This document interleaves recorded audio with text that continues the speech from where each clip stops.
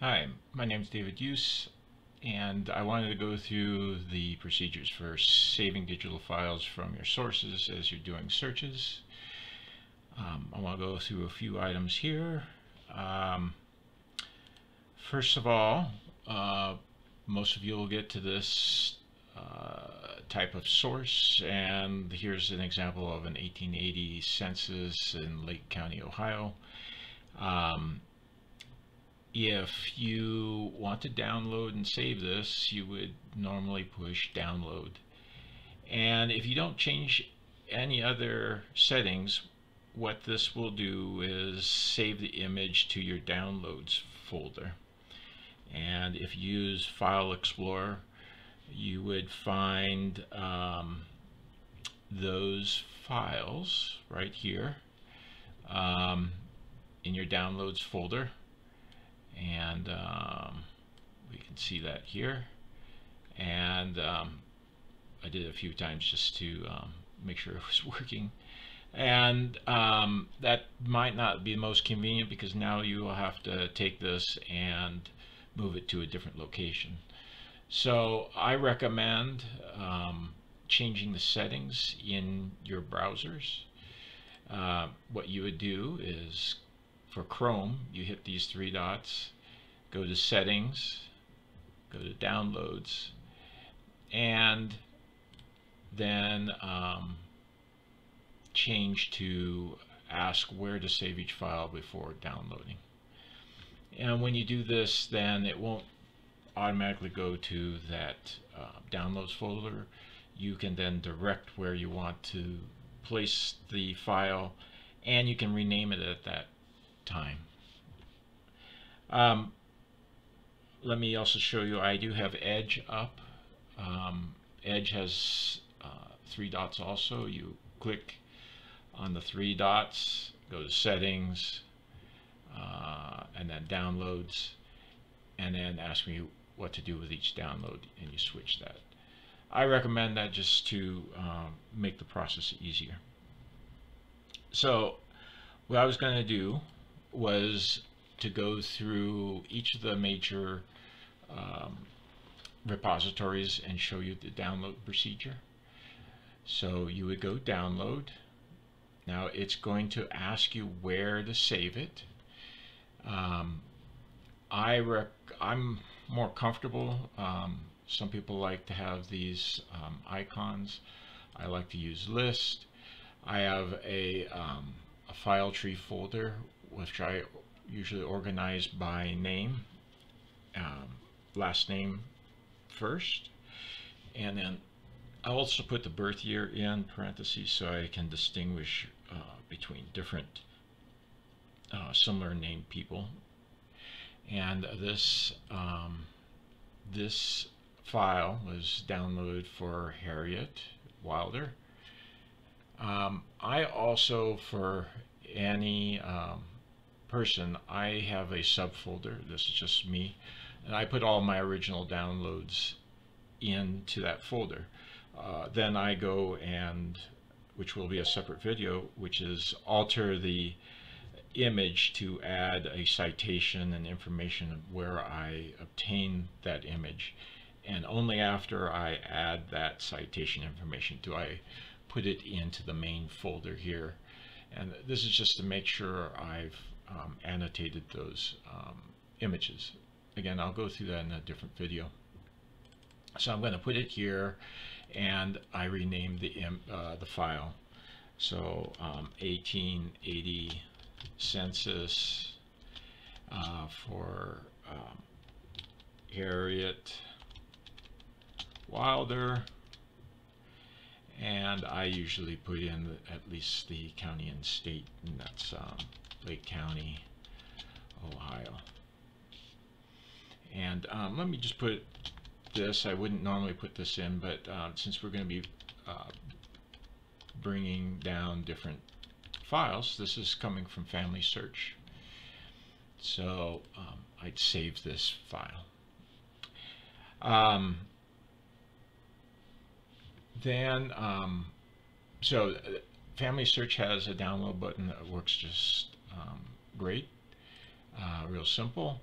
Uh, this is Ancestry.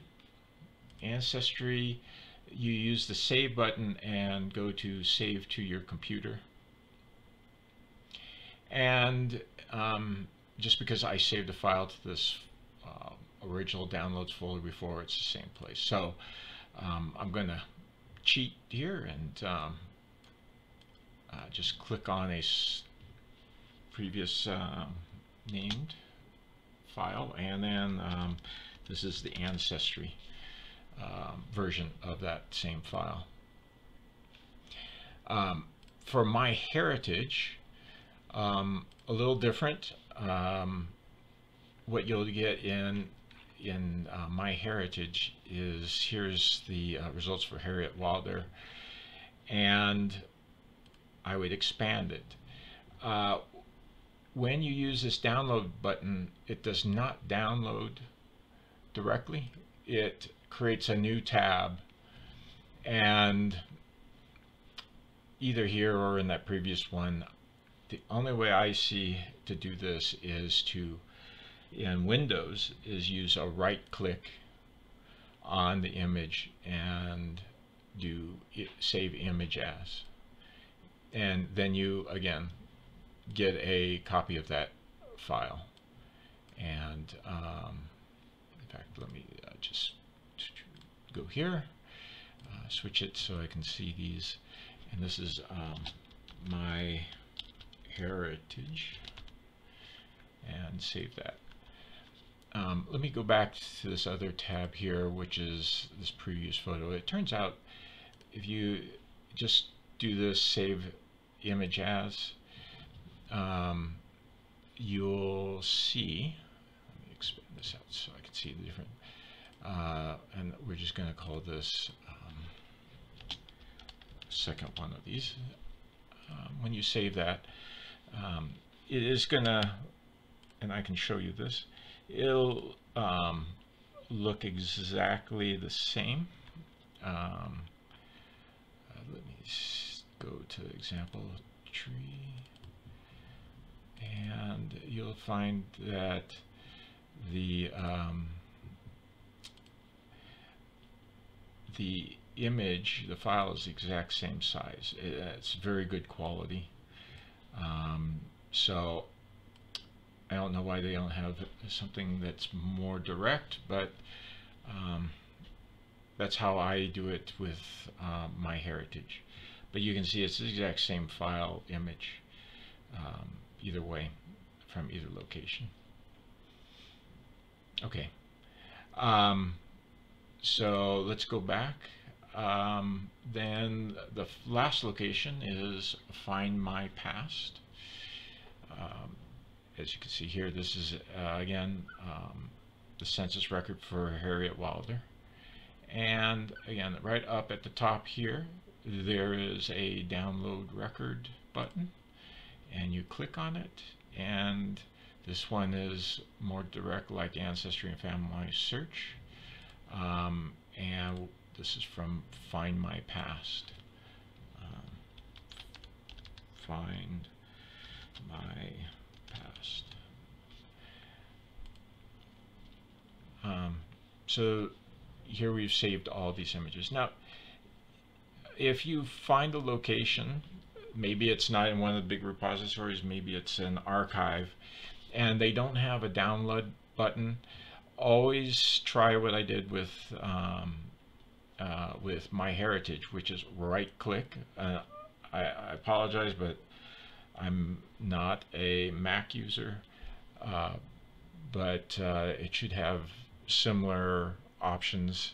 But if you go save image as, um, you can um, save this and let me just find my past Harriet Wilder.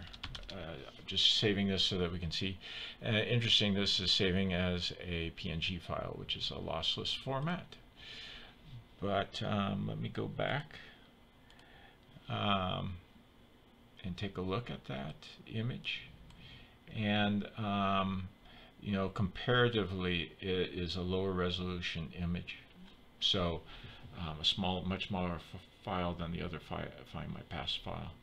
So the download for my FindMyPast is preferred, but again, if if you absolutely don't have this option, um, you can try that right click. The uh, the least preferred option is to do a screenshot of the image.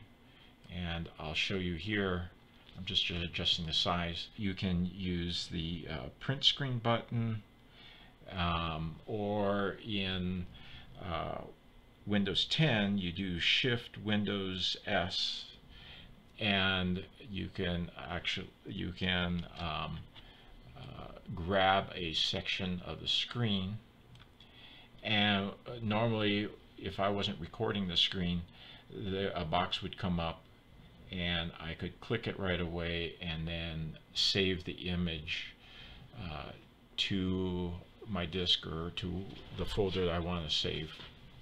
Anyway, that's not the preferred. It's going to give you the lowest quality image.